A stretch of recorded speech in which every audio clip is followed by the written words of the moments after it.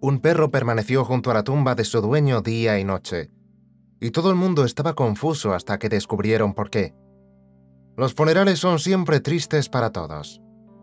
Pero ¿qué pasa con los animales que se quedan atrás? Por lo general, los familiares se hacen cargo de ellos o los donan a un refugio para que encuentren un nuevo hogar permanente. Felipe era un pastor alemán que adoraba a todo el que se cruzaba con él. Empezó como perro policía, donde conoció a su adiestrador, un agente de 32 años llamado Diego. Cuando conoció a Felipe, Diego solo llevaba un par de años como policía, pero siempre le había gustado la idea de trabajar en el departamento canino. Cuando por fin conoció a su compañero de cuatro patas, no pudo estar más contento. El policía y Felipe congeniaron enseguida y rápidamente se entrenaron para responder el uno al otro en todo tipo de situaciones. Diego y Felipe pasaron mucho tiempo juntos, y el can de cuatro patas llegó incluso a vivir con su adiestrador. De ese modo, siempre podían estar en sintonía en caso de que se produjera una emergencia y tuvieran que intervenir. Pero con el paso del tiempo, Diego llegó a querer a Felipe como si fuera un miembro más de su familia. Los dos acababan haciéndolo todo juntos, desde dormir en el sofá hasta dar largos paseos por el parque, cuando el perro no estaba de servicio, le encantaba jugar con todos los que se cruzaban en sus paseos. Un día Diego y Felipe estaban sentados en un coche patrulla cuando de repente recibieron una llamada por radio sobre un robo que se estaba produciendo cerca de allí.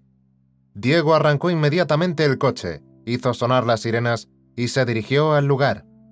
El policía había sido informado por radio de que iba a perseguir a dos sospechosos que habían intentado robar en una casa cercana, pero habían sido descubiertos por el propietario. Diego llegó al lugar solo para ver a los dos sospechosos huyendo a pie. El hombre condujo tras los delincuentes, decidido a alcanzarlos y detenerlos. Pero justo cuando estaba a punto de acercarse lo suficiente para detenerlos, los dos hombres se internaron en un bosque cercano. Diego detuvo el coche y se adentró en el bosque. Debido a lo cerca que Diego había estado de la escena del crimen, había sido el primero en llegar al lugar. Esto significaba que no tenía más apoyo que Felipe, que había estado ladrando desde la parte trasera del coche todo el tiempo que habían estado persiguiendo a los criminales. Diego sabía que no debía perseguir a los dos hombres, pues no sabía con qué armas podían estar armados. No tenía a nadie que lo respaldara si se encontraba en una mala situación, pero al mismo tiempo no quería dejar escapar a los dos hombres peligrosos para que pudieran herir a otras personas inocentes. Respirando hondo, Diego abrió la puerta del coche y llamó a su can a su lado antes de que los dos se adentraran en el bosque. Diego corrió entre los densos árboles, siguiendo a Felipe, que había captado el olor de los dos hombres. Unos instantes después, Diego oyó que uno de los hombres murmuraba para sí mismo a pocos metros delante de él. El agente sacó su pistola y empezó a acercarse sigilosamente al desprevenido hombre. Diego le dijo al perro que se quedara donde estaba, pues no quería arriesgarse a que le hicieran daño. Pero a medida que el policía se adentraba en el pequeño claro donde estaba el criminal, se dio cuenta de que allí solo había un hombre. Justo cuando Diego estaba a punto de buscar al segundo hombre, sintió un dolor increíblemente agudo en el costado.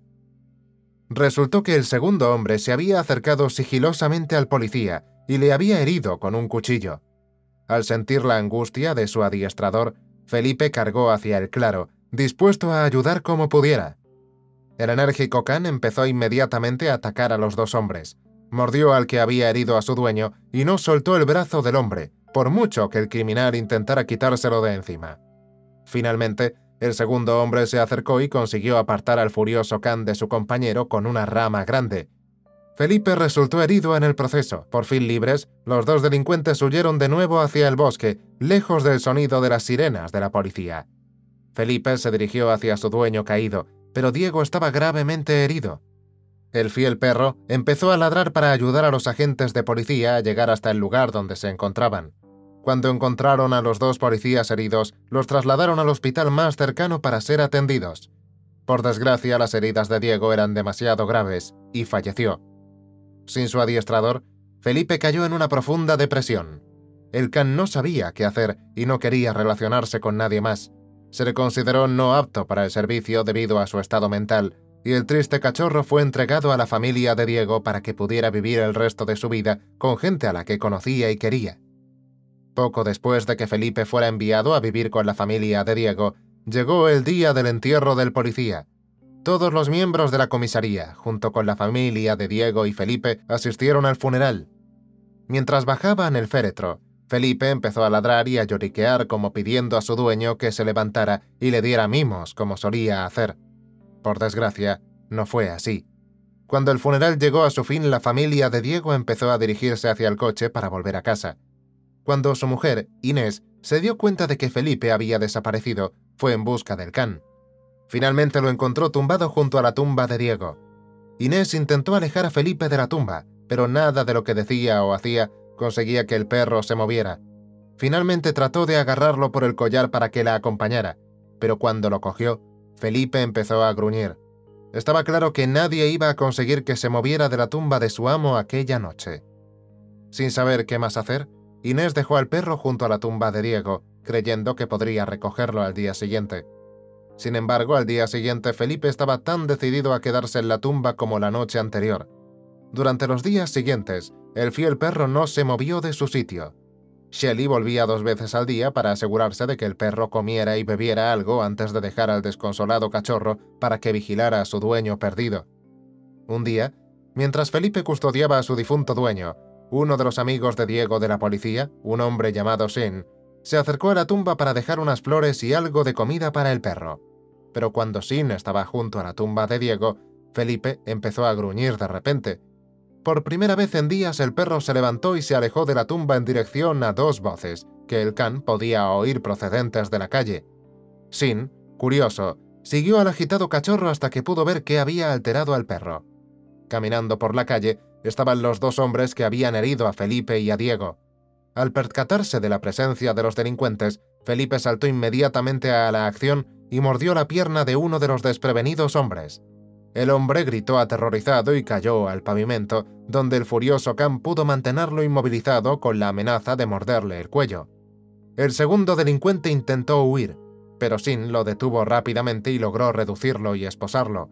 En poco tiempo los dos delincuentes fueron detenidos y llevados de vuelta a la comisaría. Felipe, sin embargo, volvió a la tumba de Diego.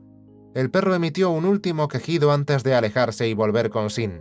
Parecía que el cachorro había cumplido su promesa de capturar a los hombres que habían acabado con la vida de Diego. Con los criminales a salvo entre rejas, Felipe vivió el resto de su vida feliz con Inés, contento con visitar la tumba de Diego de vez en cuando, en lugar de quedarse allí todo el día y toda la noche. Gracias a este increíble perro, dos peligrosos delincuentes fueron puestos entre rejas, y el agente de policía pudo descansar en paz. Dinos lo que piensas de esta historia en los comentarios. ¿Podemos darle 11.000 me gustas a este leal perro?